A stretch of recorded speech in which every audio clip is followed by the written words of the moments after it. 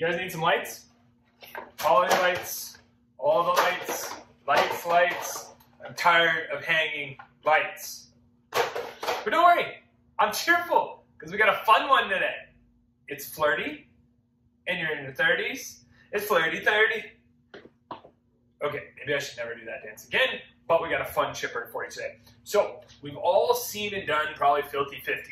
You know, enough of our friends now have turned that big 5 0 It, dragged us out, made us do that whole long run.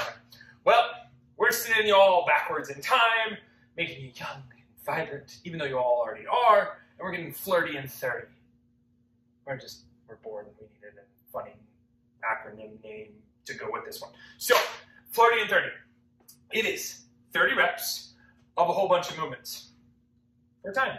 So, 30 step ups, 30 double arm bent over rows, 30 kettlebell swings, 30 lunges, holding that weight, 30 tuck ups, 30 push presses, 30 supermans or arch holds, or superwomans if you need them, but you get the picture.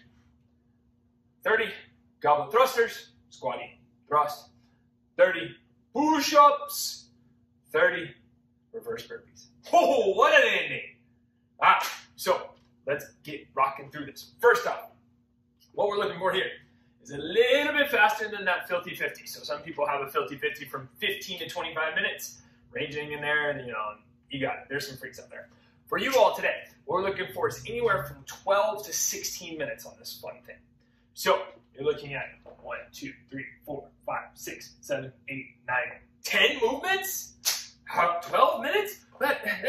Don't worry. I got you. It's okay. At worst, you take two minutes a movement. Won't probably happen because a lot of these movements you can do pretty quickly. Second, there's always scaling. We'll talk with that and ranges of motion, things that they, they that change. Third, you only have to do the movement once, so you can kind of push it. You can kind of reach for it today. All right. So let's have a little fun. Let's see what we got. Last thing here on time frame and kind of intensity wise, we will have a 20 minute cap today. That is just to protect you so you're not doing endless minutes of burpees because that'd be me. We all know. Ben, ben would get done with the first nine movements in probably under 10 minutes and then spend the remaining time trying to figure out how he can't reverse burpee. I'm working on it, but don't worry, I got you. So here's what you need to do. First, step ups. Something just above the knee so that we achieve this motion. We want to go hip crease or knee above hip crease if we can. If that bothers the hips or ankles, change it up. Make it different, make it a little lower.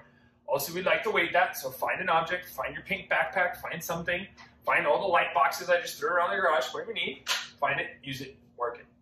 Next, bent over rows. So, solid hinge position, like so, good hinge, something in both hands, and you're rowing back to your butt hip pocket.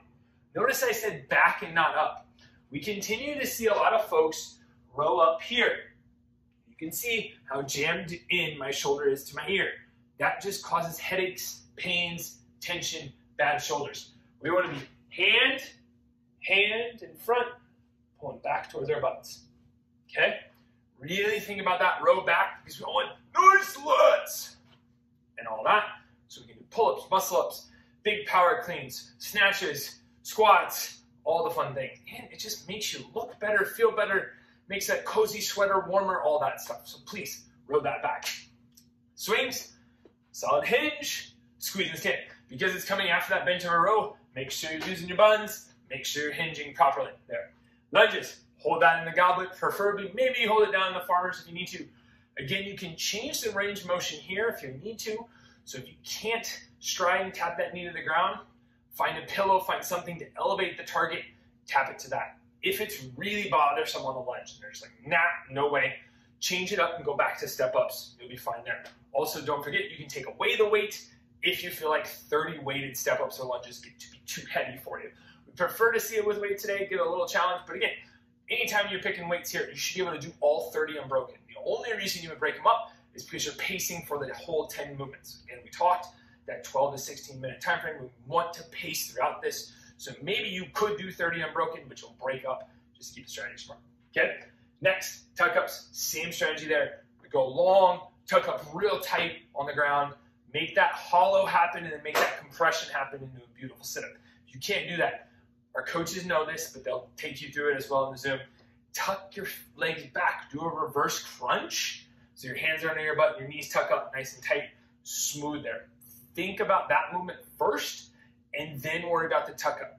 That will also protect your back for those of you who struggle with that. Because notice if you can squat, you can do that. So if your back's flat and neutral on the ground, take your legs out long, tuck them back up. That's a sign that our core needs work over our back needs protecting. Because our back's flat, it's not moving. If it's moving, you're doing something wrong. So think about that, utilize that movement there, and it'll actually help you build your abs today in a fun little way. Next, push presses.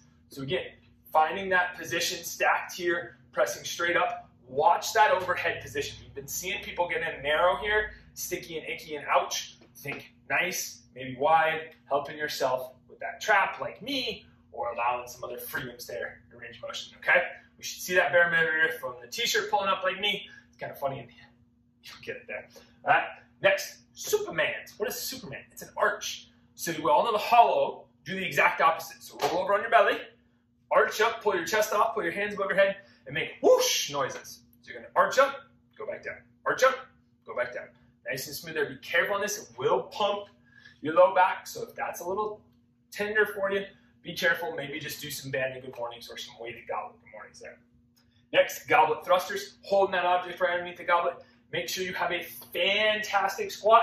Stand, press that thing up above your head. Should feel like a wall ball today, just not throwing it. If you have a wall ball at home, use a wall ball, but don't throw it because it'll hurt your face. Don't want that. All right. Next, push-ups. Thinking about that solid push-up form. Take your hands just below your chest again. Elbows stay in or about at a 45. Thinking, how do I push a door open or someone else open away from me? keep them six feet back type situation there. Think about that. Tight end push-ups. Nobody pushes someone away like this. It's just silly. So don't make your push-ups look like that. Last but not least, reverse burpees. This can be probably the most challenging thing for a lot of us. Some of us, this will be the breeze and the ease and the bee's knees at the end. Big thing, elevate yourself if you need to skip. So find a pillow, couch cushion, something like that. Elevate yourself up the ground. That'll help that roll up into there. Also think about the feet cross, the Robin special as I like to call it. That feet cross can help you kind of turn and get up and down off the ground like that. Nice and smooth. I can. That is the flirty 30. A little fun with it. Weight it. Get after a fun little chipper. The whole goal is to be breathing and moving the whole time. This would be a fun one in the gym if we were doing it because you kind of like talk trash to the person next to you as you transition from movement to movement. You should be able to breathe and move and kind of talk to anyone at any point in time. Shouldn't be so hard, hard sprint. It should be kind of fun, moving, chipping, talking a little trash, having a little fun as you go. Okay? So have that, do that, get after it. Okay? Then we move into our performance care after party. For those of you who are feeling beat up in the week, please start doing these. I promise they'll make you feel better. They'll help you. The body will feel good. What we have is four rounds for quality. We're going to do 10 alternating groiners. Then five meters of lateral plank shuffle, 10 low to high band chops or low to high dumbbell swings, and then last but not least, 10 rockbacks.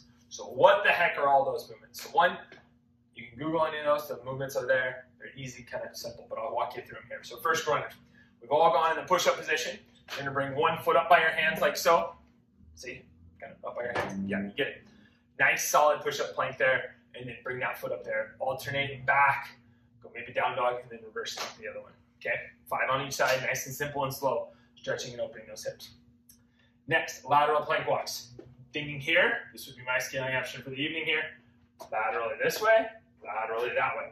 Again, maintaining that tight push-up form, moving sideways, not forward and back, and going there.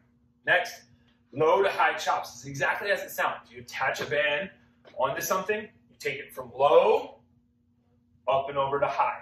Okay? Kind of like swinging an axe in reverse. When you swing an axe down, this one you're swinging up. We should see a little hip twist. We should see that rotation on the spine and core helping our bodies kind of move and rotate there. Last but certainly not least, hip rock back are down on your hands and your knees. Your spine is nice and neutral, like you're doing a big front squat, and then your knees and feet are positioned the same spots that you would a squat. So kind of just translate the squat, flip it onto the ground, tuck the hips back, feel that pinch, then go back out nice and smooth. Should help alleviate any low back or kind of pinching pain that we have there. Okay? That's it. Simple, easy. Perform the care. That's why we do them. That's why Thursdays always got them, because usually people have trained three days in a row, and we want to sneak that in there for you. Okay?